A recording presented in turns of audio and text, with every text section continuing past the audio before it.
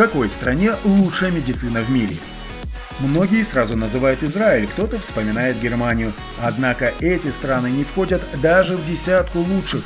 Просто они на слуху, а потому первыми приходят в голову, когда речь заходит о качестве здравоохранения. В этом году, согласно рейтингу индекса здравоохранения, в топ-10 стран с лучшей медициной входят следующие.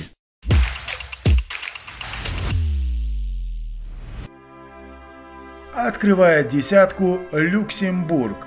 В Люксембурге государственной системе здравоохранения имеют доступ все жители. Наемные работники и самозанятые отчисляют деньги на социальное страхование. Работодатель автоматически вычитает медстраховку из зарплат – те, кто не имеет дохода или не может делать взносы из-за низкого дохода, могут получать базовую медицинскую помощь, оплачиваемую государством. В Люксембурге пациенты сами оплачивают медицинские услуги и получают возмещение, предоставляя квитанции за медицинские осмотры, лечение и лекарства. Врачи обычно информируют пациентов о проценте оплаты медицинских услуг.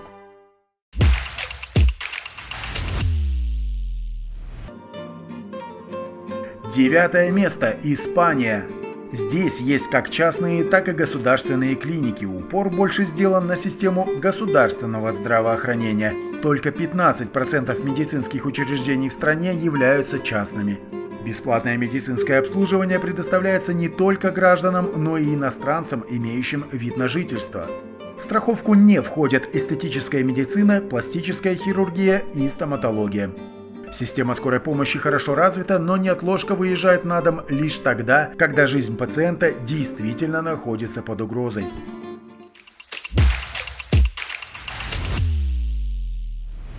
Финляндия, восьмое место. Качество медицины в этой стране заслужило, по мнению экспертов, оценку в 77,5 баллов. Нужно сказать, что финны частые гости в позитивных рейтингах топ-10 из-за отличного уровня жизни в государстве в целом. Несмотря на то, что они находятся, скажем так, в очень северной Европе, им удалось наладить многие сферы своей жизни. Медицина здесь, конечно, платная, но есть возможность компенсировать потраченные деньги, причем порой даже тем, кто не имеет гражданства Финляндии. А вот вызывать врача на дом можно только частного. Если же пациент настолько плох, что дойти до клиники не может, приезжает скорая помощь.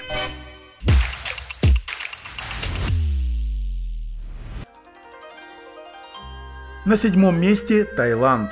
Его нередко называют центром медицинского туризма в Азии. Сюда приезжают не только купаться и любоваться достопримечательностями, но и лечиться. Однако в Таиланде частная медицина развита лучше государственной, и клиники ориентированы в первую очередь на пациентов с высоким и средним уровнем дохода.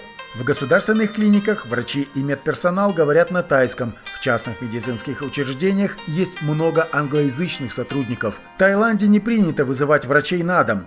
Даже если требуется неотложная медицинская помощь, на дом приедут фельдшеры, которые доставят пациента в больницу. При этом вызов скорой помощи является платной услугой даже для граждан страны. Еще одна североевропейская страна завсегдатой различных топ-10 – это Дания. Ее медицина заслужила шестое место – Расходы на здравоохранение здесь одни из самых высоких в Европе. Этот пункт бюджета составляет более 10% от ВВП, потому и живут люди здесь в среднем 81 год. Большинство клиник Дании бесплатно. Иностранцам можно воспользоваться их услугами при наличии ВНЖ либо медицинской страховки. Важная особенность местного здравоохранения – полностью автоматизированный документооборот в системе Медком. Даже если человек переезжает и меняет врача, у специалиста специалиста не возникнет сложностей с тем, чтобы найти его цифровую медицинскую карту.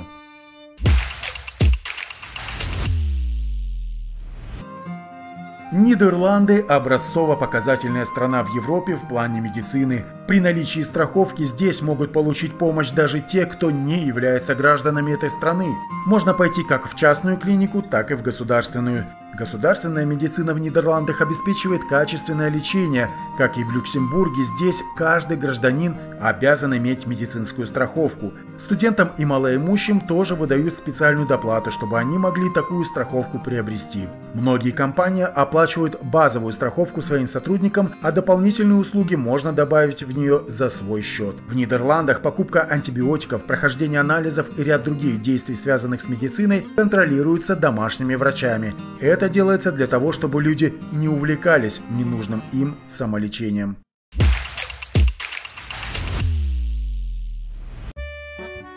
Франция традиционно входит в топ-5, а нередко и в топ-3 стран с лучшим качеством медицины.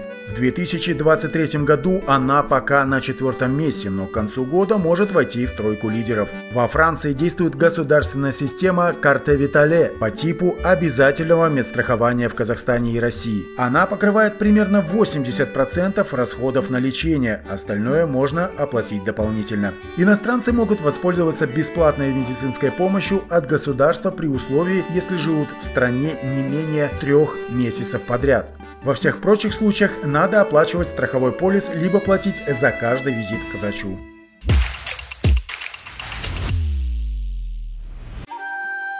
Страна восходящего солнца открывает тройку лидеров.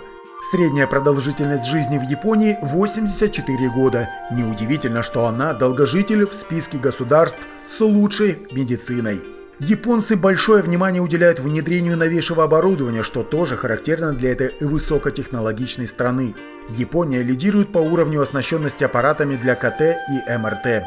Частная медицина в стране есть, но более 90% затрат на лечение покрывается государственной страховкой.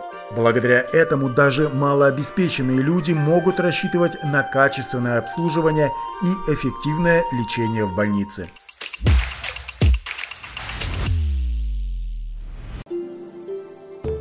Южная Корея не случайно занимает вторую строчку рейтинга. Страна производит собственное высококачественное медицинское оборудование, а также закупает аппараты и инструменты у ведущих производителей США и Евросоюза. Подавляющее большинство медицинских учреждений частные. На долю государственного здравоохранения приходится всего около 10% клиник и больниц. Южная Корея – популярное направление медицинского туризма благодаря превосходно развитой пластической хирургии. Также здесь успешно лечат онкологические заболевания и болезни сердечно-сосудистой системы.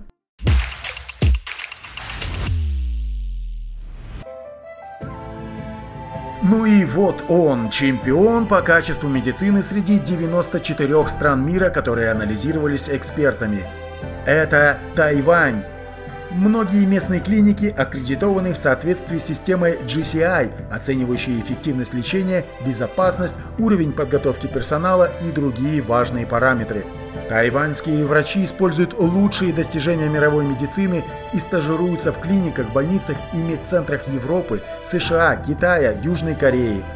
Нетрадиционная медицина тоже используется, но приоритет отдается научному подходу. У резидентов Тайваня есть государственная страховка, которая покрывает примерно 98% медицинских услуг.